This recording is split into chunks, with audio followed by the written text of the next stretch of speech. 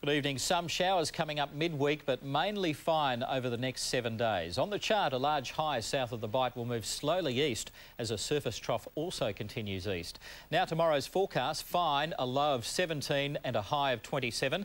Looking ahead, becoming cloudy on Wednesday, showers developing into Thursday and Friday, then mainly a fine and warmer weekend.